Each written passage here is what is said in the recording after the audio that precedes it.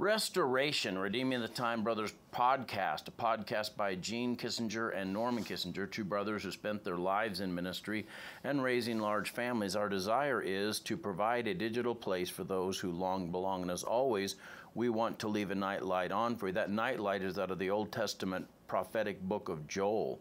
It says, And I will restore to you the years the locust hath eaten, the canker worm, and the caterpillar, and the palmer worm, my great army, which I sent among you. And ye shall eat in plenty and be satisfied, and praise the name of the Lord your God, that he hath dealt wondrously with you. And my people shall never be ashamed. And ye shall know that I am in the midst of Israel, and that I am the Lord your God, and none else. And my people shall never be ashamed there are times in life seasons where God's judgment and chastisement falls on his people and he does that to bring us back to him to bring us to a place of repentance and uh, and even resilience. He wants us to be have a right heart, a holy heart. And so sometimes he allows circumstances and consequences to develop in our life and they're painful and they're like an army of locusts that sweep in and seem to devour every good thing. But the encouraging word from the book of Joel is that there's a purposefulness behind what God is doing, even in those seasons of judgment when God is bringing us to our knees in a place of repentance so that He can bring about a real work, a good work in our life and in our families and in our marriages and on the jobs and that kind of a thing.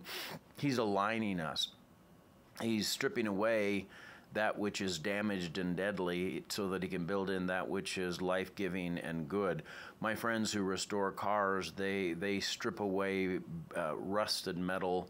They they replace old and broken busted parts and oftentimes the project that they're working on looks worse than it did at the very beginning and, and it keeps looking worse and worse and more terrible until ultimately it looks good. It looks amazing.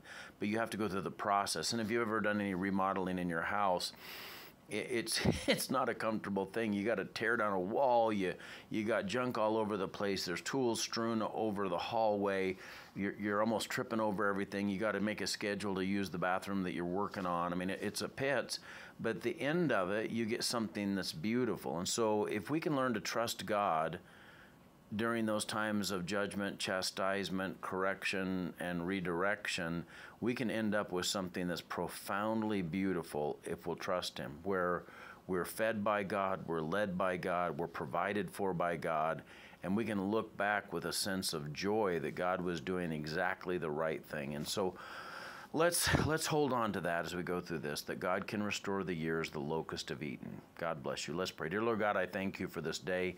I do pray that you'd help us to remember that you've got a perfect plan even in the midst of traumatic times. Help us god to trust that you can indeed restore the years the locust have eaten you can give us beauty for ashes you can give us robes of righteousness for our rags of sin. You can do amazing things in our situation if we'll trust you with the whole process of restoration. Thank you for this incredible spiritual principle. In Jesus' name, amen. Hey, God bless you. I love you, but Jesus loves you so much more. Have a great